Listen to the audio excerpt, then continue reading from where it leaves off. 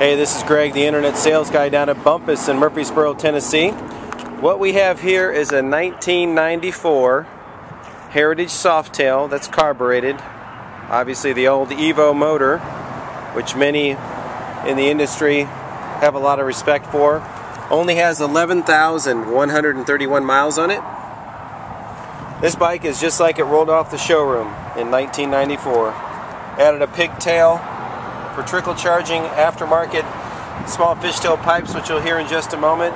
Leather looks fantastic. Uh, added a luggage rack to the motorcycle. Paint is super clean, not a scratch on it. Literally looks like a brand new motorcycle rolled off the floor in 94. Took excellent, excellent care of this machine. Word has it it was a Country Music Stars motorcycle, in case you recognize it.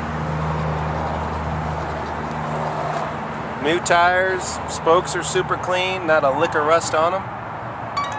Just a great, great looking motorcycle.